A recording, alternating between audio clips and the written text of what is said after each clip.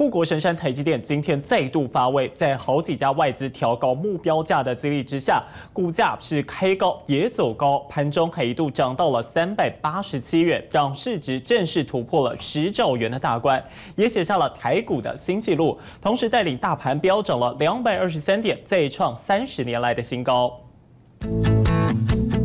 涨涨涨不停，台积电真的没有极限。二十一日股价开高走高，气势如虹，盘中更冲到三百八十七元，再创历史新高价，市值突破十兆元大关，写下台股新纪录。而台积电走高，更推升台股大盘指数，早盘一度大涨超过两百四十点，一举突破一万两千四百点大关。即使尾盘稍微震荡，但最后依旧强涨两百二十三点，收在一万两千三百九十七点，再创三十年新高。果来看的话，大概是六位数了。那既然是长线，当然现在不出啊，当然是看好它就继续放着。股民开心赚饱饱，因为台股最近实在太旺，加上台积电法说营运展望强劲，外资纷纷喊话台积电目标价四百元，也清点相关半导体厂商，包括环球金、联发科都纳入优先买进清单，更将环球金推测合理股价调升到五百七十七元，联发科则是喊出七百元，成为台股行情的左右护法。短线上以机器来说的话，的确这个细晶圆啊，它近期的一个补涨的一个